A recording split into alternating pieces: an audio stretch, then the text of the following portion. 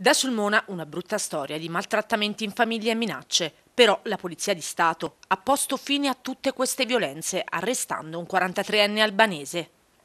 Nelle prime ore di questa mattina personale della Polizia di Stato ha infatti eseguito la misura cautelare della custodia cautelare in carcere nei confronti di un 43enne albanese residente a Reggio Emilia, pregiudicato per reati contro la persona, responsabile dei reati di maltrattamenti in famiglia e minaccia aggravata nei confronti della moglie e delle due figlie minorenni. La misura è stata messa dal GIP presso il Tribunale di Sulmona su richiesta del procuratore della Repubblica, il dottor Bellelli. La donna il primo settembre scorso si è presentata presso il commissariato di Sulmona rappresentando di temere per la propria incolumità e per quella delle figlie di 13 e 14 anni, dopo anni di violenze subite dal marito. Per sfuggire a questa situazione le tre, dopo un breve soggiorno in Albania nel mese di agosto, durante il quale la donna, nel timore di essere raggiunta dal coniuge, aveva chiesto e ottenuto un provvedimento restrittivo nei suoi confronti da parte della magistratura albanese, non erano tornate a Reggio Emilia, ma si erano rifugiate presso dei parenti della donna a Sulmona. L'uomo, venuto a conoscenza di ciò, le aveva raggiunte minacciando di ucciderle con un macete qualora non lo avessero seguito a Reggio Emilia.